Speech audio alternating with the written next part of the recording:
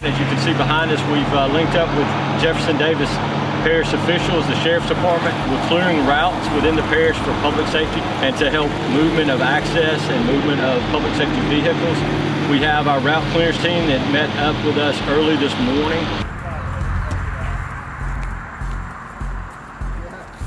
The coordination has been outstanding and we were able to start work pretty much at sunrise.